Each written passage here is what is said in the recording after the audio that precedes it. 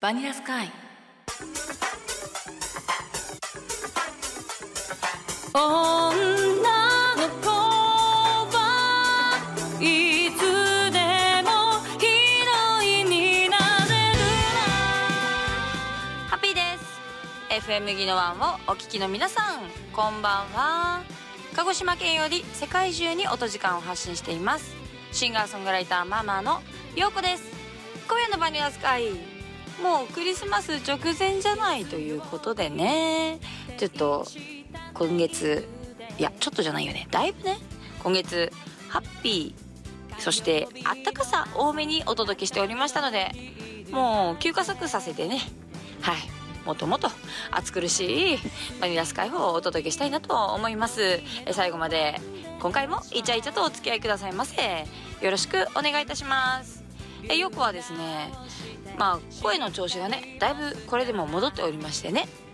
今センテラス天文館公認のストリートライブシンガーまたね楽しくね再開させていただいているんですけれども。まあ12月もね、えー、クリスマス終わって、えー、まあ年内はですねちょっと忙しく歌う機会や、え、プロモーション活動させていただくんですけれども。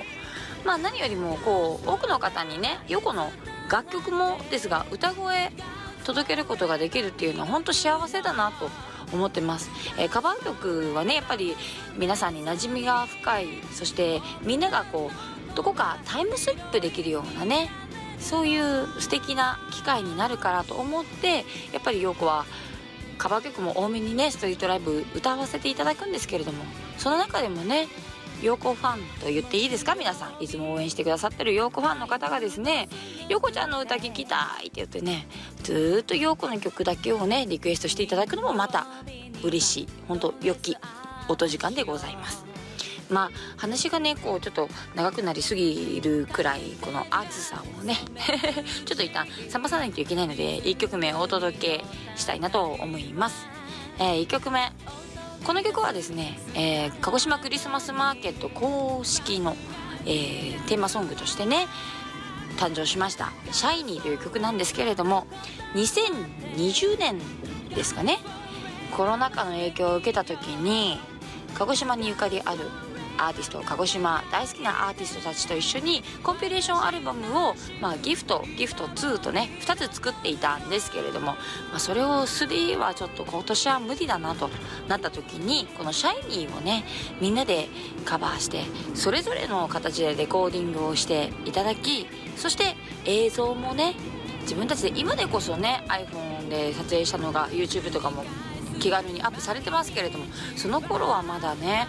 ちゃんとしたミュージックビデオじゃないといけないみたいなね価値観もいっぱいありましたので私自身もそうでした。なんですけれどもね、えー、もう全てがあ私先駆者だったなみたいなミュージックビデオにもなっておりますので、まあ、そこは見ていただきたいんですけれどもあまた話が長くなった。ということで、えー、とても素敵なアーティストたちとお届けしております。みんなで一緒に歌った「シャイニー2020」お聴きください。あなたの思いを空を越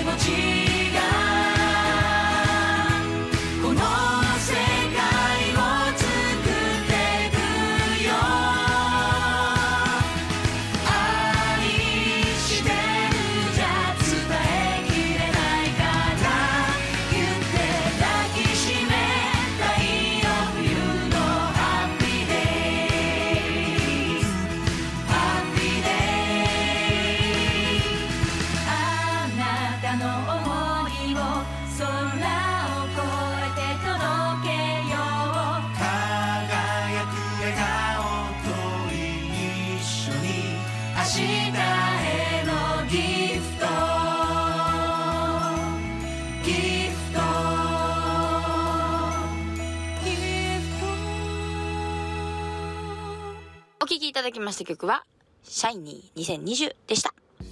まあ、ヨーコはですね、このところ、この方に歌っていただきたい。あ、こ、このところだって、ここをね、ここを、この方に歌っていただきたいっていうね、あの、パートの割り振りも担当したんですけれどもね、もうこの、なんていうの？シャイニー完璧だなと思ってます。なんかね、アーティストたちの優しい声とか、人間味あふれる節回しとかさ、大好きだがよ。うん。皆さんはね、このクリスマスとか、まあ冬って聞いたらね、あ、この曲を思い出すっていう曲あると思うんですけれどもね、私はね、このシャイニーかな。みんなで一つになれる、頑張るがとか、みんながほんとね、健康で安心安全なね、毎日を暮らしてますようにとかね、ほんとね、誰かを思う気持ちが一つになった作品だなって思うんですよ。まあ、バニラスカイミュージックの公式のね、YouTube チャンネルでね、あまりね、こう、稼働はしてないんですけれども、でもね、稼働してない中にも大事なものは発信している、そのバニラスカイですのでね、あ、バニラスカイミュージックのね、YouTube ですのでね、そちらちゃんとね、お聞きいただきたい、見ていただきたいなと思います。まあね、ヨーコは2023年12月23日の夜7時からね、19時から鹿児島クリスマスマーケット鹿児島中央駅の網広場で開催今もされておりますけれども、まあ、そちら出演予定でございます、まあ、その日は陽子一人のね、予定なんですけれども、まあ、年を明けてからもね、いろんなイベント、えーセレモニーであったりとかね、陽子もアコースティックだったり、バンドであったり、まあ、一人で歌ったりね、いろんな形で音時間発信しますので、ぜひ、YOKO、ようこ、japan.com がホームページであったり、ようこ鹿児島で検索していただきますと、いろんな SNS ヒットしますので、ぜひ登録をお願いしたいです。そして、実はね、インスタで、えー本当は YouTube 作ってって言ってもらってたんですけど、取り急ぎインスタで、のんちゃん始めました。のんちゃんというのはですね、私の次女の1歳のね、はい、パフォーマーのんちゃんのあまあ娘のねはいあのインスタなんですけれどもまあある意味陽子の裏垢だなと いうことでまあね陽子も自分の動画を作るのはね結構時間かかってねアップしてないアップしてないばっかりでねあやばい、えー、12月までに作らなきゃなみたいなのとか、えー、お正月こっそり休みと題して動画編集だなみたいなことが待っておりますけれども。のんちゃんのね動画は簡単にできるんですよね。ちょっと切り抜いてパッと上げるだけで済むんでね。なのでどうしよう。よく仕事しとらんのにまたのんちゃんの上がってるみたいな感じにならんかなと思いながらも、まあのんちゃんのね動画めっちゃハッピーなので、えー、そうあの皆さん是非もう理屈抜きにあははってなりたい時はのんちゃん検索してみてください。えー、のんちゃんっていうのは NONCHAN に VSM で、はい、あの、検索していただきますとね、インスタ出てきます。娘たちのハッピーにする力羨ましいくらいね、完璧ですからね。お母さんも負けてはいられないんですけれども、まあ、余裕で負けてますよね。もう笑っとこう。笑っときましょう。とはいえね、何と言いますかねこう世界が平和でとかあなたにありがとうを伝えたいとかねそういう言葉って、えー私若い時はね本当偽善だなーってどこか思ってたですね本当ごめんなさいっていうくらいねだって自分が幸せじゃないとさいろんな物事の捉え方って素直に取れなかったりあと裏が裏がとね。裏を散策してみたりとか。まあ自分のモチベーションであったり自分の環境であったりとにかく自己肯定感ってねまあ皆さんも聞くと思うんですけれどもそういうね言葉まあいろいろあると思うんですよくくりはね。だけどとにかくまあ自分がねピースフル本当はフルよ。ハッピーフルフルよ。フルパワーじゃないとね何もかもこうプラスには捉えられませんのでね。でそんな中でね今日ちょっととあるラジオ番組の収録にね伺った時に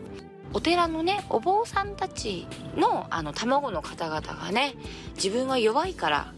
自分は弱いからこそ強くなるために修行をすると。なるほどねって思いました。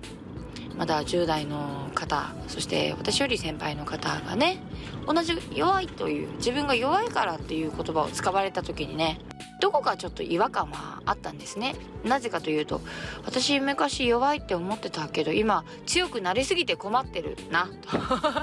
強ければ強いほどいいってもんじゃないよなっていうのをね知ってしまったらねあえーとみたいなね。だけどあそういえば私も自分自身を強くしたいと思って自分は弱い弱いって思ってたなっていやほんと初心に帰るね言葉でしたね。だってもう一人のねパーソナリティのね女性の方がねいや私からしたらねって失礼かもしれないけどこうやってねってあの活動する場所、まあ、修行の場をね鹿児島に移されたりとかって、まあ、いろんなもの強いと思うんですけどねっていう言葉を聞いてねそう私的にはね強いよってとっても強く輝いてらっしゃるよって思ったけどうん。本人からするとまだまだだまだまだだってなるわけですよね。私ねあの昨日の夜娘とねキャパシティの広げ方であったりとかまあ強さ弱さだけでなくてね努力をしていくその継続の力であったりっていうのをね、まあ、夜中にねちょっと話したんですよね。まあちょっとその模様はねあのちょっと曲を聴いていただいてからまたそこはねちょっとお話しさせていただきたいと思います。えーこの冬皆さんが大事な方ともっともっとハッピーでありますようにという思いでね歌い続けている陽子は。もう曲、えー平和の曲平和を願った曲。これもねなかなか、えーライブで歌えなかったけどこの間宝山ホールコンサートで歌えたのがすごく嬉しかった。今日もねこのレコーディングした時の陽子で皆さんの平和や幸せを願いたいと思います。お聴きください。陽子で「 Beautiful Days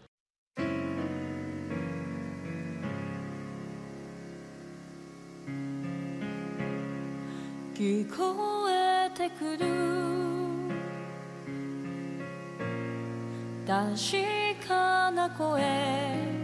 イメージで作られては壊されてしまう。世界に正しいことは何答えはどこにあるの？どれだけ叫んでも届かない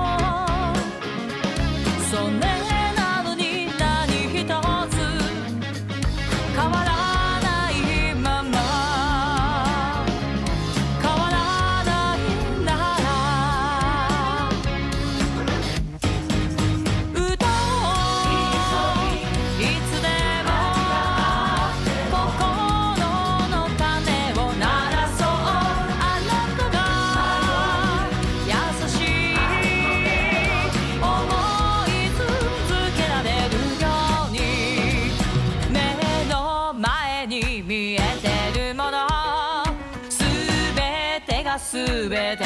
はない心を強く悲しみさえ力に変えて紡ぎ合おう私たちの新しい日々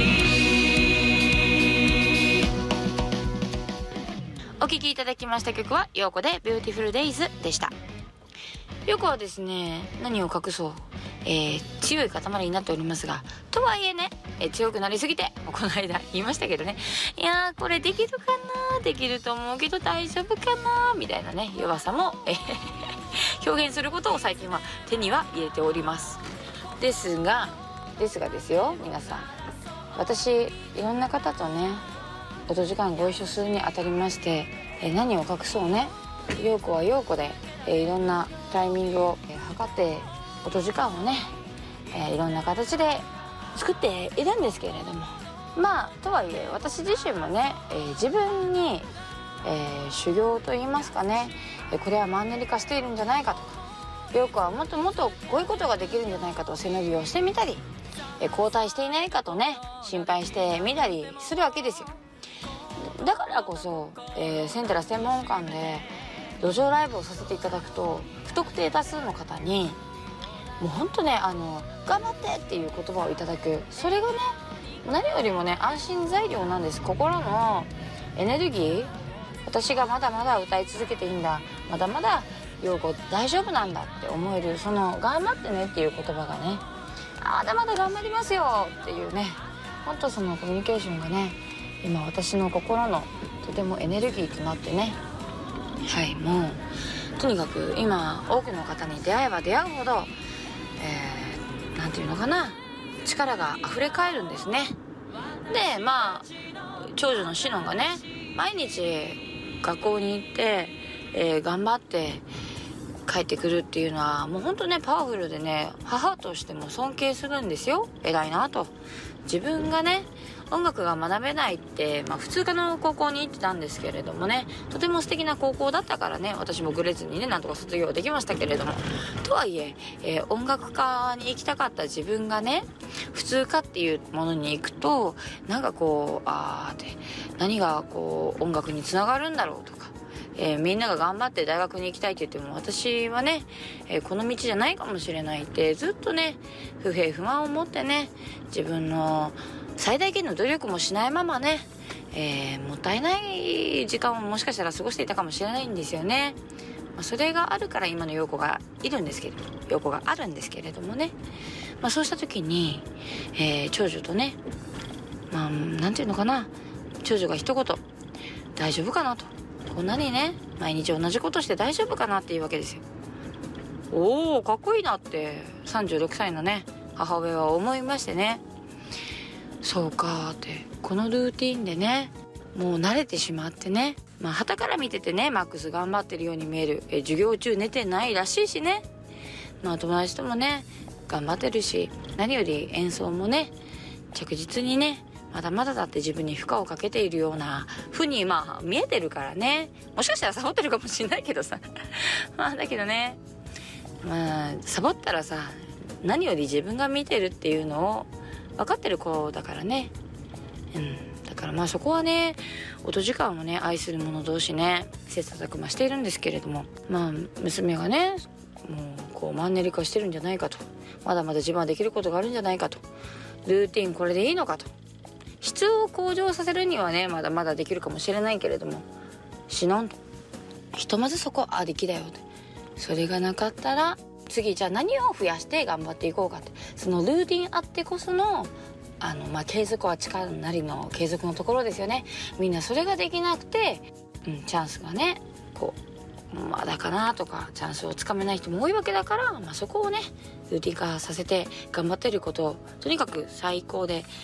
3年間はあるしもう3年ではないよね。もう2年ちょっとの世界ですからね。とにかくとにかく、えー本当自分を信じて頑張ってていいと思うよっていう話になったわけです。あそっか。じゃあ頑張ろうと。最近はねお料理まで作り出してねお弁当まで私が忙しいからって言ってね自分でお弁当とか作ってくれたりするぐらいですからね。まあとにかくね本当女性としても、えー音楽家としてももっともと自分らしく自分の色で輝いてほしいなって、えー母は思います、えー皆さんも本当皆さんにしかない色をねもっともっと奏でてもっともっとハピフルにえー広げてってください。という思いで、えー今夜最後の曲お聴きください。ようこでインフィニティ。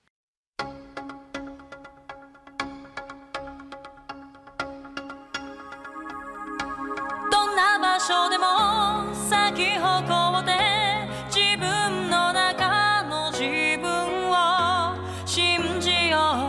全ては叶ってゆく心のままに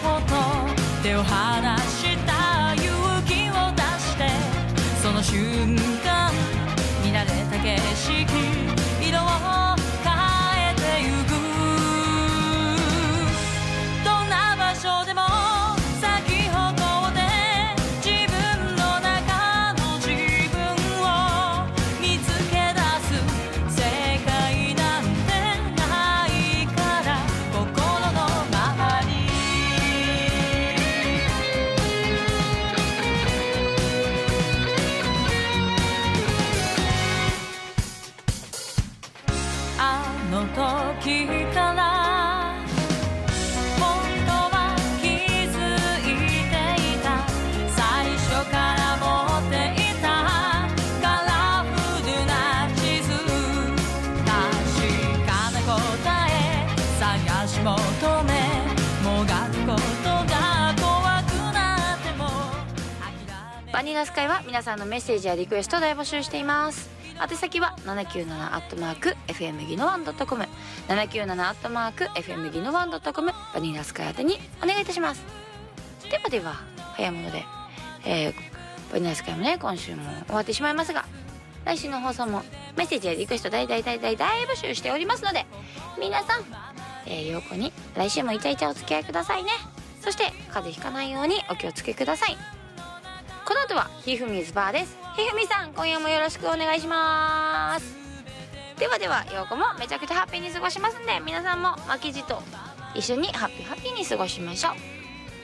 う。では1週間もハッピーになりますようにという思い込めてせーのバイバイハッピー。